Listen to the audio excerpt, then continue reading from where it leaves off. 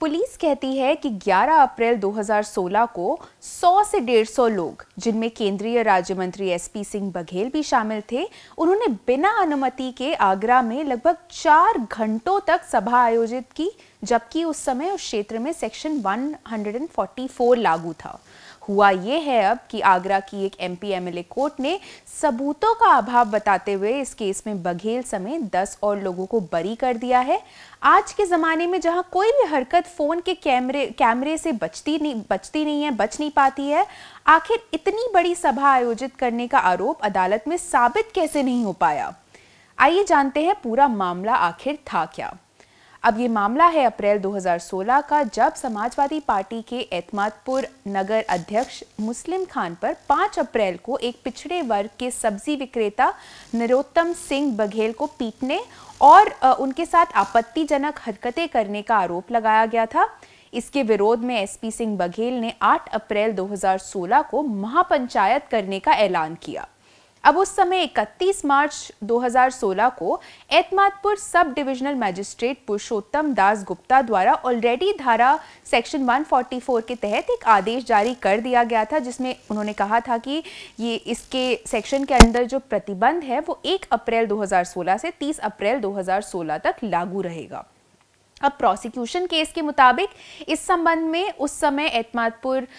SHO ब्रह्म सिंह ने यह भी दावा किया था कि मुस्लिम खान मामले के सभी आरोपियों को 10 अप्रैल तक गिरफ़्तार कर लिया गया था और बघेल और उनके समर्थकों को एक नोटिस के माध्यम से गिरफ्तारी की स्थिति और इस तथ्य के बारे में भी सूचित किया गया था कि इलाके में उस समय सेक्शन 144 लागू कर दी गई है। पर आरोप यह है कि 11 अप्रैल को बिना अनुमति के स्टेशन रोड पर बैनर लगा के 11 बजे से दोपहर साढ़े तीन बजे तक भाषण दिए गए। इस मामले में 38 38 लोगों के खिलाफ मामला दर्ज हुआ, जिसमें से 25 आरोपियों ने कोर्ट के सामने उपस्थित होकर अपना जुर्म स्वीकार भी कर लिया। कोर्ट ने उनको जुर्माना अदा करके बरी कर दिया।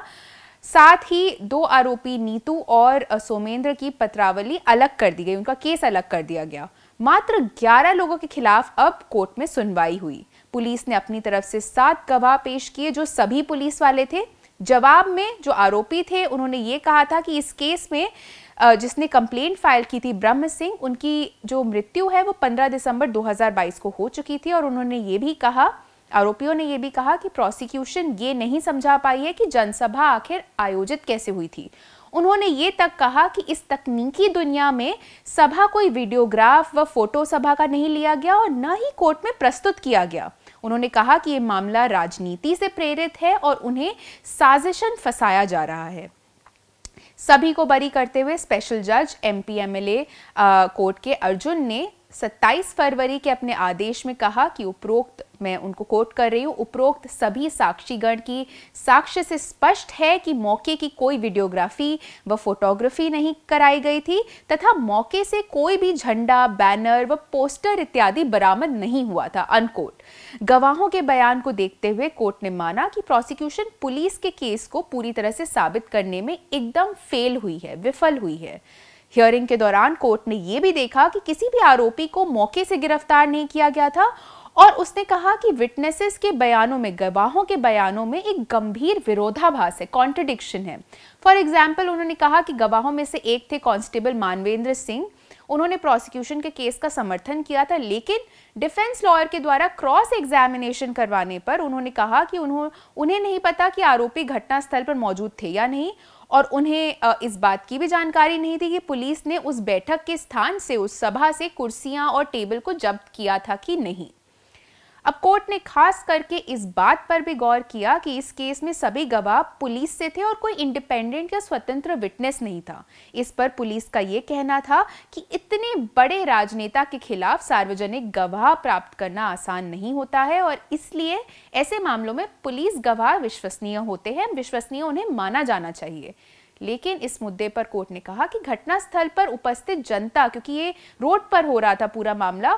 उन लोगों की गवाही महत्वपूर्ण हो सकती थी, लेकिन पुलिस ने उनकी गवाही लेने की पूरी तरह से कोशिश भी नहीं की। कोर्ट ने ये तक कहा कि अगर पुलिस ने स्वतंत्र गवाह ढूँढने की कोशिश की होती और अगर वो गवाह, गवाही देने से इनकार कर देते तो उनके खिलाफ कार्यवाही की जा सकती थी। तो आज से महज सात साल पहले जब हर किसी के हाथ में स्मार्टफ़ोन पहुँच चुका आगरा जैसे बड़े शहर में एक जनसभा आयोजित की जाती है, वो भी केंद्रीय राज्य मंत्री की, लेकिन न तो इस सभा का कोई रिकॉर्डिंग होता है, न ही फ़ोटो खींचे जाते हैं और न ही कोई ऐसा स्वतंत्र गवाह मिलता है जो उस सभा में मौजूद था। इस केस की मज़ेदार बात यह है कि पुलिस ही धारा 144 लगाती है, पुलिस ही नेता के खिलाफ केस भी रजिस्टर करती है और उसके बाद पुलिस के पास इस मामले में न तो कोई स्वतंत्र गवाही, गवाह है और न ही कोई सबूत। द प्रिंट के लिए, मैं अपूर्वा मंधानी, ऐसे और वीडियोज़ देखने के लिए हमारे यूट्यूब चैनल को ज़रूर फॉलो करें, हमारी वेबसाइट पर भी जाएँ और हमें सोशल मीडिया पर भी फॉलो करें।